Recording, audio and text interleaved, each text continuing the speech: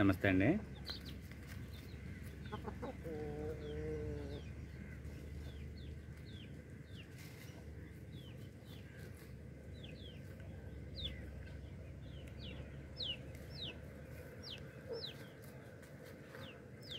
వర్షానికి మొన్న తడిచిన దగ్గర నుంచి చెదపురుగు దొరుకుతుందండి కోడి పిల్లలకి పుంజులకి. ఆ కోడి పిల్ల చూడండి చెదపురుగు దొరకడం వల్ల తల్లిని వదిలేసి వచ్చి ఇక్కడ దూసుకు తింటుంది కోళ్ళకి బాగా ఇష్టమైన ఆహారంలో చెదపురుగు ఒకటండి. చెదపురుగు కోసం ఎంత దూరమైన వెళ్ళిపోతాయి చెదపురుగు తగిలితే కనుక మనం ఇచ్చే మేతలను కూడా ఇష్టంగా తీసుకోవు. చెదపురుగు నేలలో దొరికినట్లయితే కనుక ఆ పురుగు కోసం ఎంత దూరమైనా సరే మన మకం నుంచి దూరంగా కూడా వెళ్ళిపోతూ ఉంటాయి. అలాగే ఆ చెదపురుగు తిన్న పిల్లల్లో కూడా గ్రోతింగ్ అనేది చాలా బాగుంటుంది. ఇక నేలలో పురుగు ఎరుగు తినడానికి పిల్లలు ఇష్టపడితే కనుక నేలలో పురుగు దొరికితే మనం పెట్టే మేత మీద కూడా పెద్ద శ్రద్ధ చూపండి ఊరిని వచ్చి నాలుగు గిన్నెలు తింటా ఉంటాయి.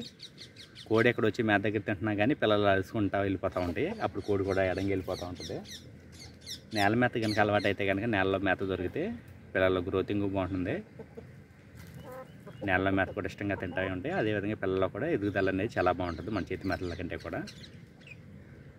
కోళ్ళకి బాగా ఇష్టమైన ఆహారంలో చెదపురుగు ఒకటండి.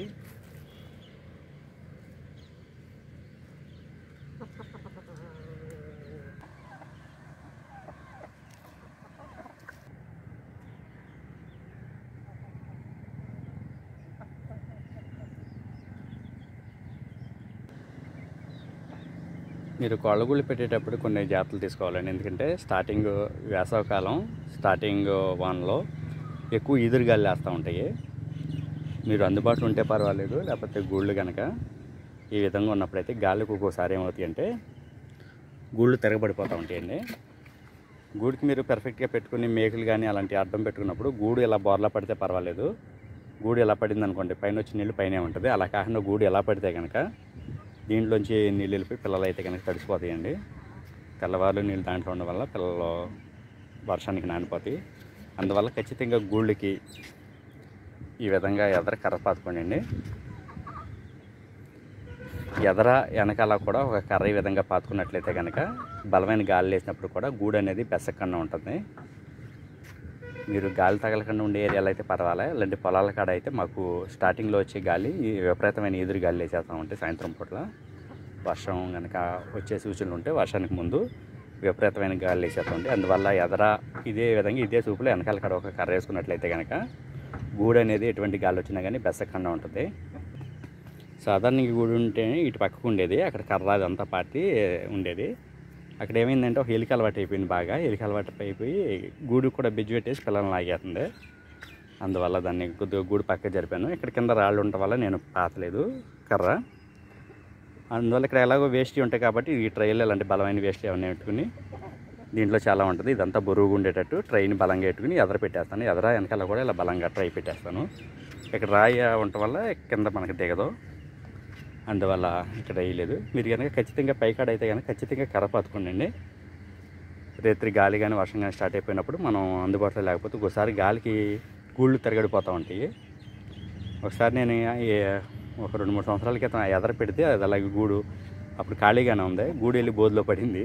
అంత గాలి చేసింది ఎగిరి అలాంటప్పుడు కోళ్ళు ఏమన్నా ఉన్నట్లయితే కనుక కోళ్ళు నానిపోతాయి. లేకపోతే బలమైన ఏమన్నా వేసుకుని గూడు కదలకుండా ఎదర కూడా పెట్టుకోండి గూడు బెసకుండా ఉంటుంది ఈ విధంగా దోమతారు కూడా ప్రతి గూడికి మనం వేసుకున్నట్లయితే కనుక దోమలన్నీ కోళ్ళని ఇబ్బంది పెట్టకుండా ఉంటాయి. అదేవిధంగా చిన్నపిల్లలకు కూడా సేఫ్టీగా ఉంటుంది.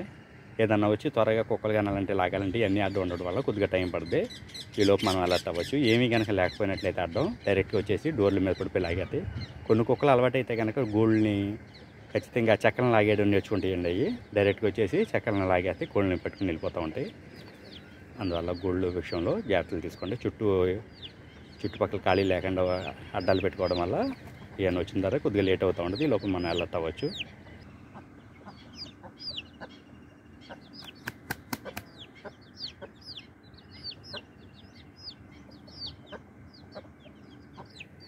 ఈ గూట్లో ఎదురున్న ఈ నల్లపిల్ల నేను లాగేసిందండి చిన్నప్పుడు వెళ్ళి దీనికి కాలు ఇరిగిపోయింది.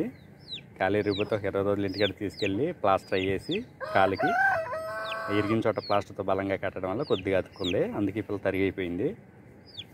పిల్ల ఈ విధంగా గేరైపోయిందండి. మధ్యలో ఉన్న పిల్ల ఒక ఇరవై రోజులు పాపం సపరేట్ చేసేసి కోడి దగ్గర నుంచి ఇంటికి తీసుకెళ్ళిపోయి ప్లాస్టర్ అదేసి వేసి లైన్ చేస్తే లైన్ అయింది. ఇప్పుడు కొద్దిగా కుంటుంది మొన్నటిదాకా కూడా కుంటుంది. ఇప్పుడు కొద్దిగా లైన్ అయింది. దానికి గూడికి ఏముంది? కెలికి ఎలా పెట్టిందో అలవాటు అయిపోయింది. దానికి కొద్దిగా చిన్న బెజ్జం పెట్టింది. ఆ బెజ్జం నుంచి పిల్లలు లాగేసేటప్పుడు ఇది ఎల్ల కొద్దిగా పెద్దగా ఉండటం వల్ల వెళ్ళలేదు. అయితే కాళ్ళ దగ్గర కొరికేసింది. కొరికేసేటప్పుడు ఎముక ఇరిగింది. అయితే చిన్నపిల్లల్లో మనకి ఏమవుతుందంటే మనం జాగ్రత్తగా కాళ్ళు ఎక్కడైతే తప్పుకుందో దాన్ని లైన్ చేసుకుని మన కరెంటు టేప్ ఉంటుంది కదండి? కరెంటు టేప్ కూడా కొద్దిగా టైట్గా వేసేసినట్లయితే కనుక అక్కడ మళ్ళీ అతుక్కుపోతూ ఉంటుంది. ముందుగా కొద్దిగా తడిగుడ్డ చుట్టుకుంటే నొప్పి లాగుద్ది. మనం లోపలికి నొప్పి తగ్గడానికి జ్వరానికి ఏదైనా లోపల ట్యాబ్లెట్ వేసుకుని ముందు కొద్దిగా తడిగుడ్డ చుట్టి తర్వాత కనుక ప్లాస్టర్ కనుక టైట్గా వేసేసినట్లయితే కనుక అది మన క్లాత్ కంటే కూడా ప్లాస్టర్ అనేది టైట్గా పట్టుకుని ఉంటుంది. దానివల్ల మళ్ళీ ఏమికి తిరిగి అతుక్కోవడానికి అవకాశం ఉంటుంది. అదే రోజు పెద్ద పిల్లనే రెక్క మీద లాగేసింది. దీని కాలికి. ఈ రెక్క మీద కొద్దిగా తెల్లగా ఉంచండి. ఇది సైజు పిల్ల అవడం వల్ల ఇది ఆ బెజ్జుల నుంచి బయటకు వెళ్ళలేదు. దీన్ని కాళ్ళట్టుకు లాగింది. ఎలుక కనుక కోడి పిల్లలకు అలవాటు అయితే మనం ఎంత బలంగా చక్కనైనా సరే బెజ్జం పెట్టేసి వచ్చేసి పిల్లలు నాకు వెళ్ళిపోవడానికి చూస్తూ ఉంటుంది. అలా కనుక ఎలికి అలక అలవాటైనట్టయితే కనుక దాని ముందు మనం పట్టుకుని ఎక్కడికైనా వదిలేసుకోవాలి. కాకపోతే మనం గూళ్ళు ప్లేస్లు మార్చేసుకోవాలి.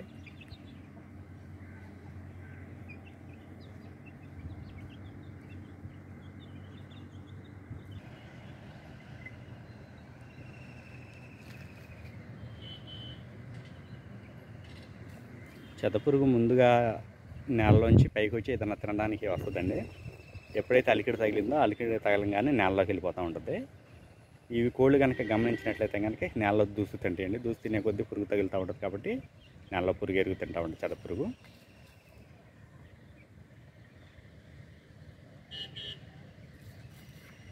ఈ వీడియో కనుక మీకు నచ్చినట్లయితే వీడియోని లైక్ చేయండి షేర్ చేయండి. మరిన్ని వీడియోస్ కోసం పొడమే ఫార్మ్స్ త్రిబుల్ అని యూట్యూబ్ ఛానల్ని సబ్స్క్రైబ్ చేసుకోండి.